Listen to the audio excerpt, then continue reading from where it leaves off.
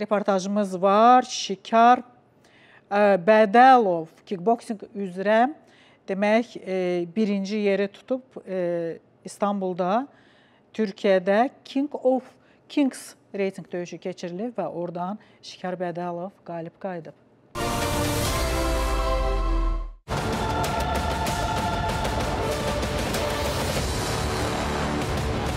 Kırmızı köşe Şikar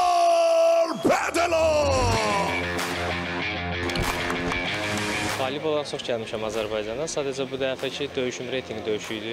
Rəqibim məndən 10 kilo çəkidə artıq olsa da belə qalib gəldi. Birinci raundun ikinci dəqiqəsində rəqibi məğlub elədim nakdaunla. Əmin olmasaydım özümdən 10 kilo artıq çəki ilə vuruşmazdım. Mən atamla həmişə fəxr edirəm. İnşallah növbəti döyüşlərində də qalib olaraq vətənimizə qayıdar.